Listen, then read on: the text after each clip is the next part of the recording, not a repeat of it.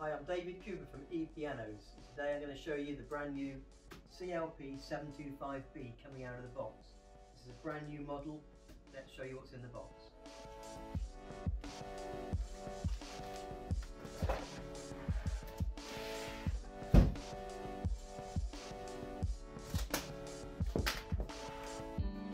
You only need a pair of scissors and a Phillips screwdriver to set these up. Let's see what we got.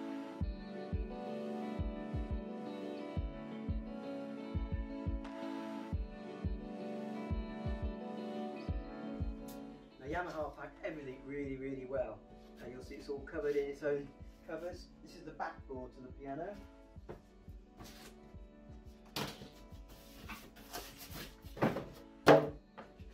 And the edging to keep it safe.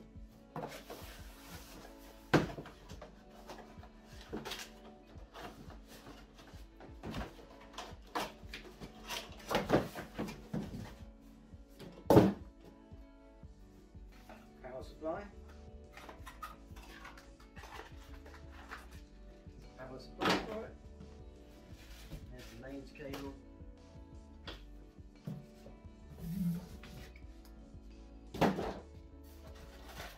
And these are all the little screws that we'll need and the headphone hook.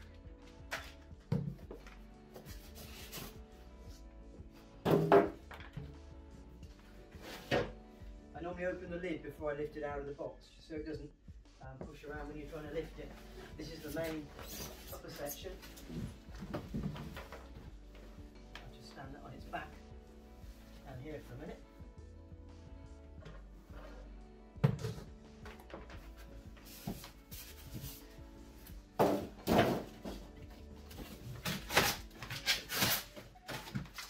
These are your free books.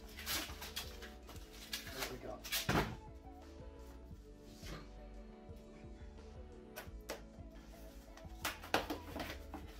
Yeah, a book of 50 songs. Now all these songs are built into the piano and you can play along with them. So that's the uh, book of 50 classics. This is your handbook. And a quick guide on there, a little chart. Okay. Then we've got your, your forward with your pedals on. We'll look at that in a minute.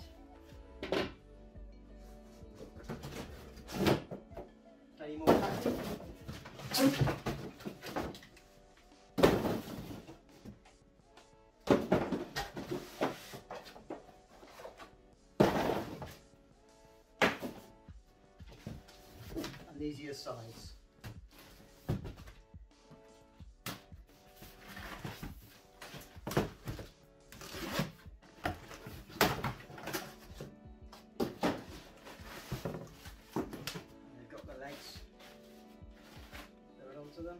And here's one.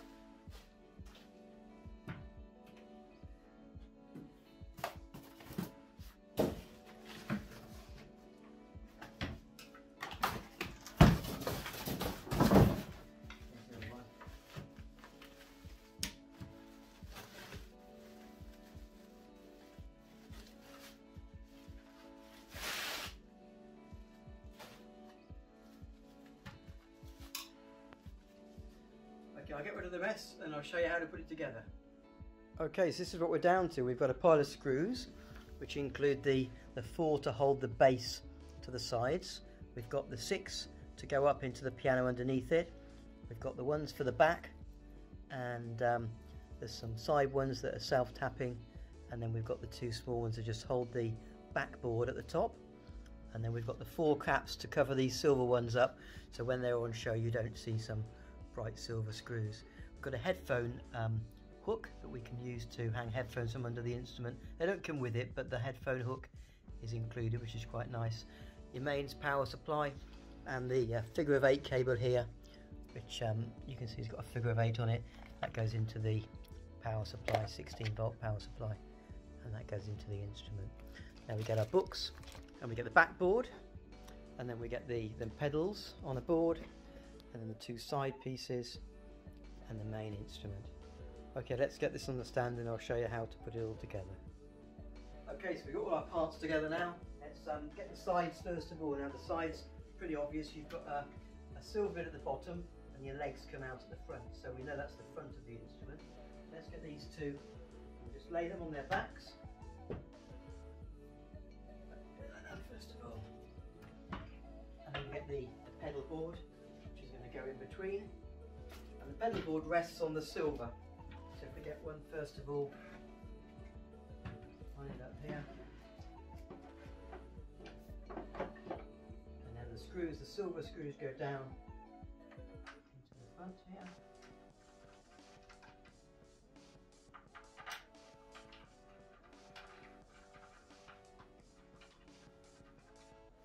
And the same on the other side.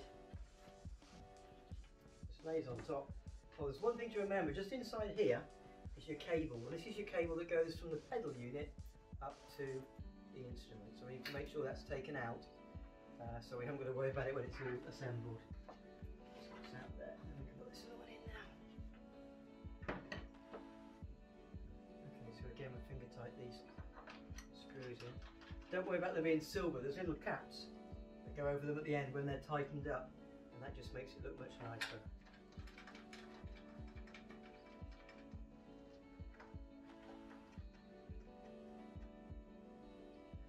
Okay, so we've got our main part, then we've got the base of the backboard to go on top.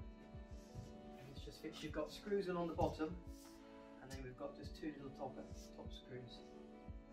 Okay, it's the same on both sides. Just lay that here. These top screws. Okay, so the top screws just go in on each side.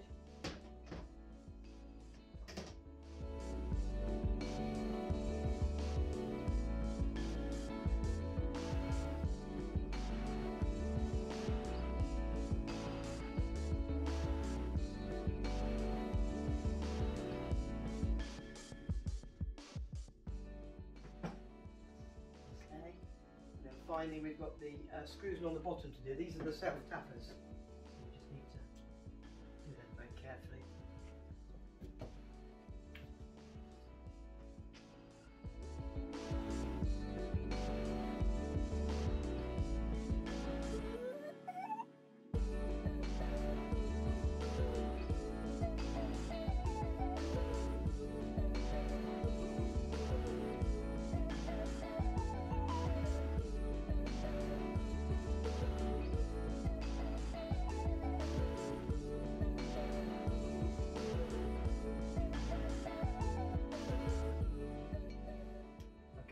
Backboard done. Now, what I would recommend for the last part is to lay it down on its front.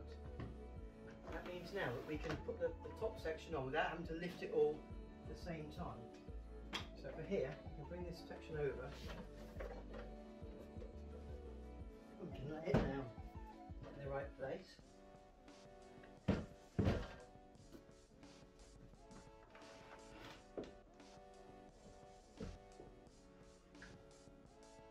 Okay, and then the last six screws, so the black ones, they just line up these three holes. And same on the other side. And then we can put our three screws.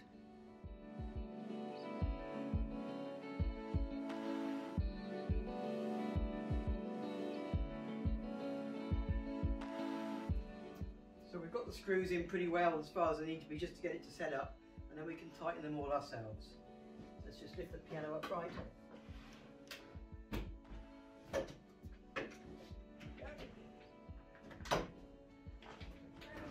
Then we can just tighten them up with a screwdriver to make sure they're not going to be unsafe. And now it'll line up a bit better on its legs as well.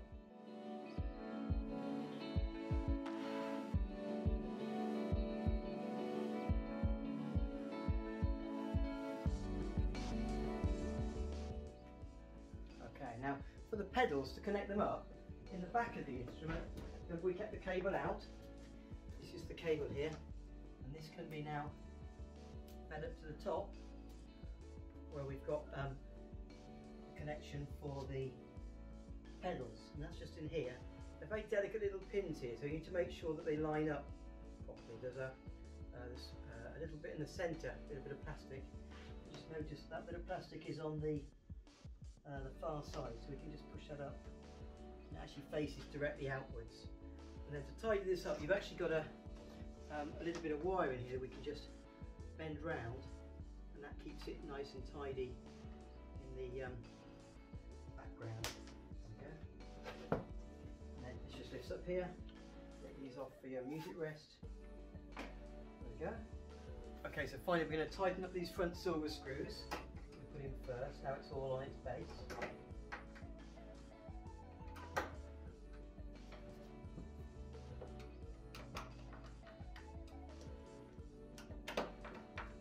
And then we've got these nice little caps to cover up the silver and then just nicely pop over to make it look much prettier.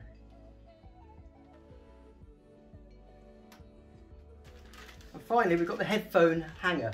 It's quite a clever little device, just means you can keep your headphones tidily underneath when you're not using them and they're available just to pop out when you want to. So it comes with two little screws. Okay, and the headphone hanger just slots in under here